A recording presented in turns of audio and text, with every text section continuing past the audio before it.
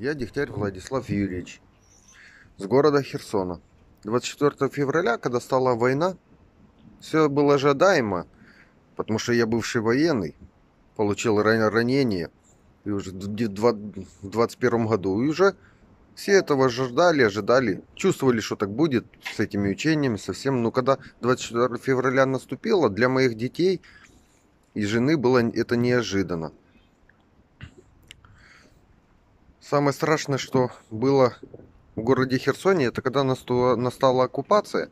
И так как я бывший военный, сейчас инвалид-пенсионер, то ожидание, когда придут ко мне домой, к моей семье, так как проверить военных, че сотрудничаю, не сотрудничаю с украинской армией, властями нашими, сдаю я ор орков или не сдаю. Вот. Ну, наступил этот момент, когда они и до меня дошли, пришли домой, все перевернули. Дети очень сильно бы испугались. Ну, все прошло более-менее нормально. Они отступили, ушли. Как и дети очень сильно испугались. И страшно было в Херсоне, что каждый вечер, каждый день где-то лазили по соседним домам, подъездам искали. Искали военных, кто в полиции работал, кто сотрудничает с нашей армией. Партизанов искали. Но как только Херсон освободили, то мы сразу же с женой, с детьми выехали, потому что начали Херсон стирать с лица земли. Постоянные обстрелы, обстрелы, микрорайон за микрорайоном. И не, самое главное, не знаешь, куда оно прилетит. Выехали в Одесскую область, в село под Одессой. Вот сейчас арендуем тут жилье. ВПОшники. Ждем, когда выиграем полностью эту войну, когда они все уедут к себе в Россию навсегда. Чтобы можно было спокойно вернуться в Херсон. Потому что сейчас очень опасно.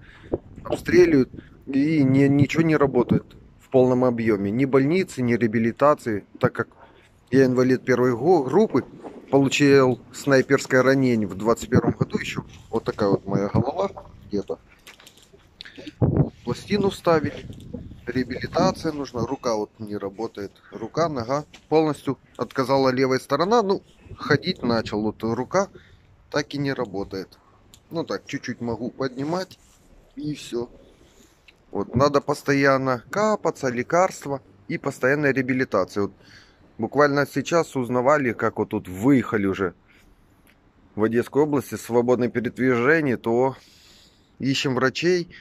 Вот ждем ответа, чтобы поехать в Тернополь на полное обследование руки, организма, тела.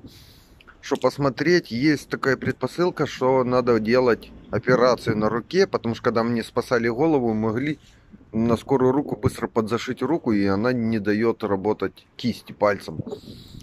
То вот жду момента, когда надо ехать на обследование в Тернополь и там делать операцию. А дальше надо реабилитация, реабилитация, физические нагрузки.